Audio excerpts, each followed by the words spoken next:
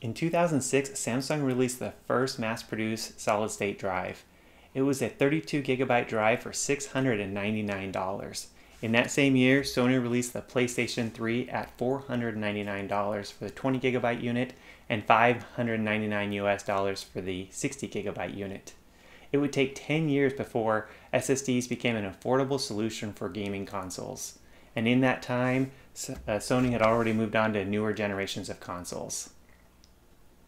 Given that these consoles were never designed with an SSD in mind, does installing one make any difference? That is the question I want to answer today. In a previous video, I installed an SSD replacing the original retail hard drive. And in that same video, I mentioned about doing performance tests against the original drive. Thank you for all the comments on that video and asking about those results. Today, I'm going to present them to you. I will do my best to compare these drives, but this is by no means scientific. I am not in a laboratory and I don't have any fancy equipment. I have this console, some games, a controller, and a game capture device. I will also show some game capture in the video of games that I really enjoy playing. At the end of the video, I will compile the results to determine if the SSD does make a difference in performance on the PlayStation 3. The first game I am going to test is Gran Turismo 6. This game launched at the very end of the PS3 life on December 6, 2013, a month after the launch of the PS4, in fact. It's a beautiful racing game that really pushes the hardware to its limits.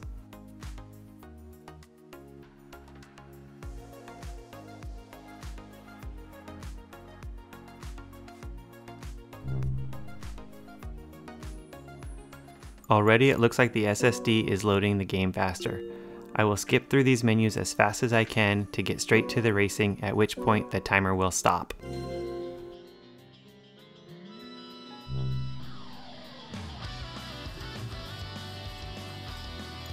Okay, the hard drive has loaded the menu, so I will skip through the menu as fast as I can, selecting the same racetrack.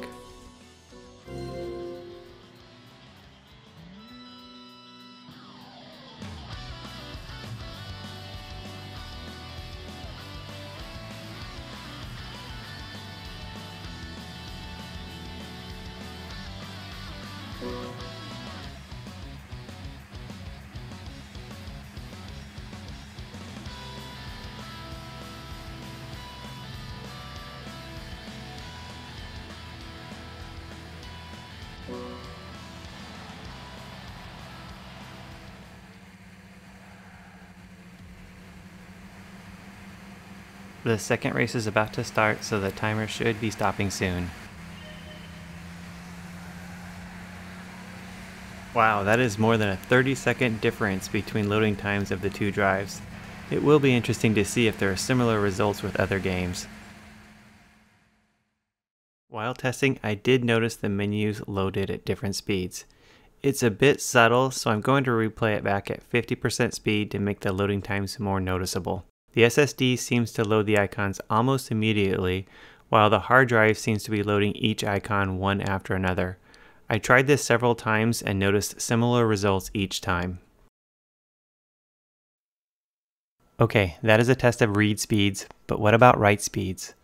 I recently picked up Fear 3 and haven't played it yet, so I need to copy the game to my drive.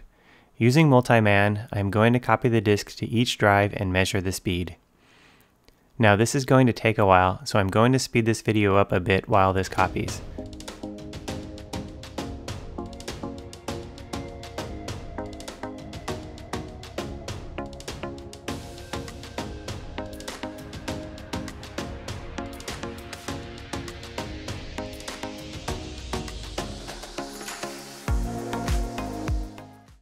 Okay, write speeds are pretty comparable with the hard drive taking only 20 seconds longer. Not really anything to write home about. This is likely because we are limited to the read speeds of the Blu-ray drive. Now I will launch Fear 3 from the internal drives. This is my first playthrough of Fear 3. The game launched in the summer of 2011 as a first-person shooter psychological horror game. You play as a genetically enhanced soldier with superhuman reflexes and the ability to manipulate time and also as the undead spirit of his brother who possesses incredible psychic powers. Again, I am going to navigate through the menus as fast and consistently as possible between the two tests. I will skip through any cutscenes and stop the timer when gameplay starts.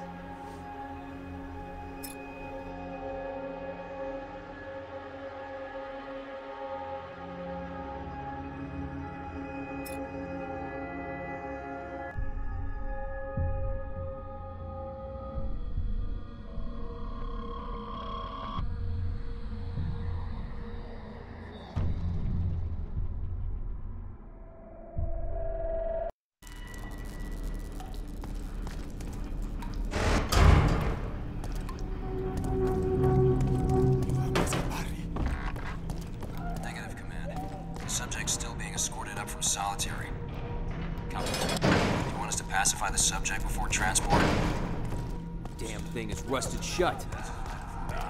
Being escorted up from solitary. Copy that. Do you want us to pacify the subject before transport? Shut. Still good on my end. Ah, shit, it's him! Did you hear me? Get down here, he's loose! Forget it, you're not getting out of here! Ah, shit, it's him! Did you hear me? Get down here, he's loose! Forget it, you're not getting out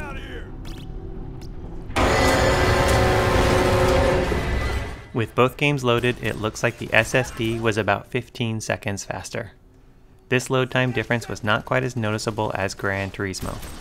My first playthrough was using the retail hard drive on the right hand side, and I was really feeling the vibes of this prison environment for the first time. I went to test for write speeds between the two drives again. This time I am going to remove the limitation with the Blu-ray drive. The game I went to test is MotorStorm Pacific Rift.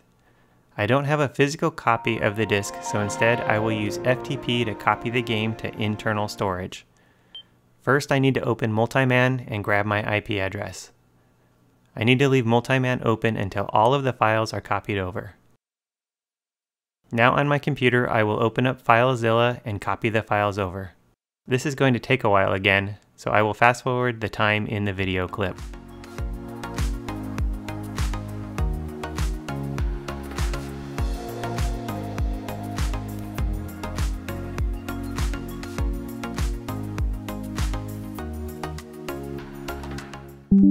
Well, I am looking at just under 2 minutes difference or about 15% faster with the solid state disk. The full game was about 12 gigabytes in size on a 1 gigabit network, taking about 10 and 12 minutes to copy.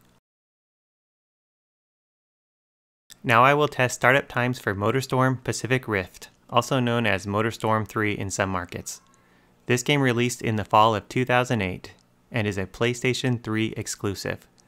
The game features eight vehicle classes including bikes, ATVs, buggies, rally cars, racing trucks, mud pluggers, big rigs, and for the first time, monster trucks.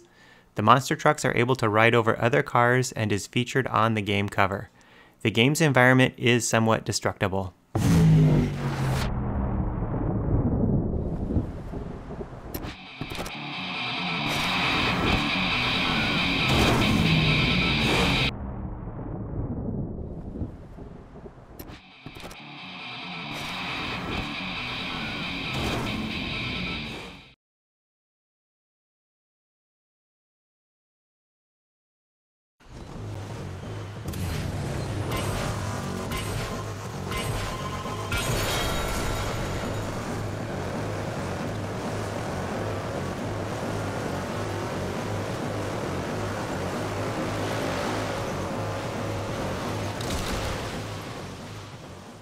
Again, the SSD just squeaked by with the win of about 15 seconds faster. While this may not be a large difference, each race is only a few minutes long and in a one hour gaming session, this could mean getting an extra race or two.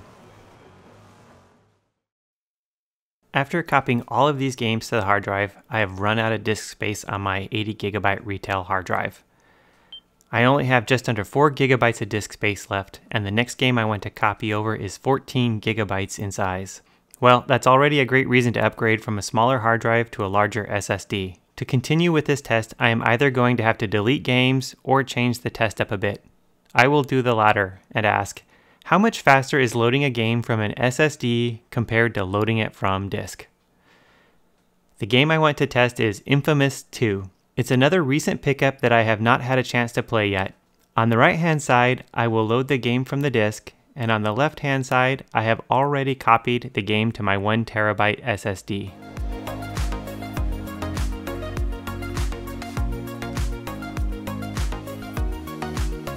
Well, first the game needs to install an update, so I'll go ahead and fast forward through the update.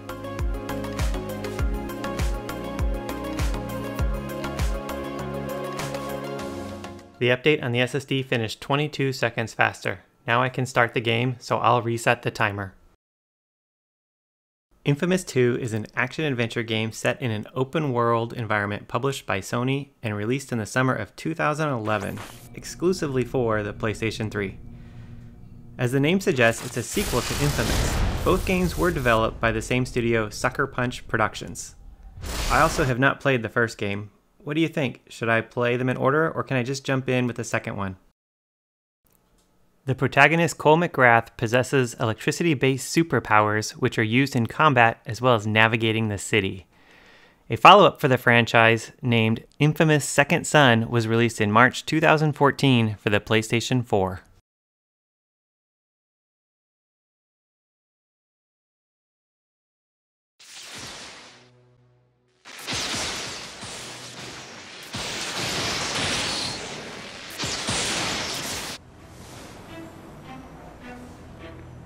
Dropped out of college and got a job as a bike courier. Mostly just to piss off my parents. I was someone you'd never notice. Just a guy delivering packages to folks you'd never know. And then one day, a package found me. Tesla told me about you. I'm not gonna let it happen. Okay, it doesn't look like I can skip through the cutscenes here, so I've stopped the timer when the cutscene started. I've also cut the video to show some short gameplay combat. However, loading the gameplay up to the cutscenes, the SSD is about 21 seconds faster than reading the game from Blu-ray disc and hard drive combination. I will call that a win for the SSD over the Blu-ray disc drive. Another benefit of the SSD is to save wear and tear on the more expensive and harder to replace Blu-ray disc drive.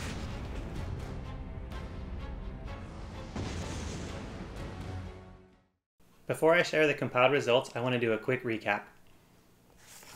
Metal Gear Solid 4 I didn't test, it was just a little bit too big for the retail hard drive.